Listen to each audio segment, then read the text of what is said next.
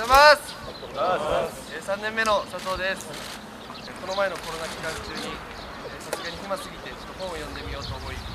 読んでみたところ、えー本の良さに気づかされました、えーその僕が初めて読んだ本の中にも、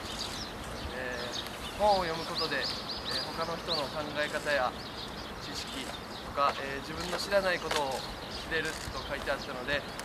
えー僕もこれから、えー空いてる時間を見つけて、えー読書をやっていきたいと思いました、えーまあそこで、えー僕が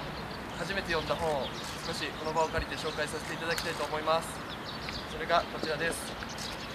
国母弘樹一瞬に生きる、えーお値段は1500円です、えー僕はこれを Amazon で買ったんですけど、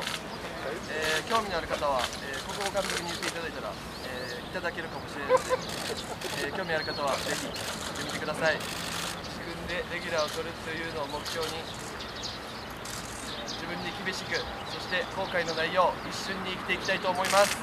これ今年1年よろしくお願いします。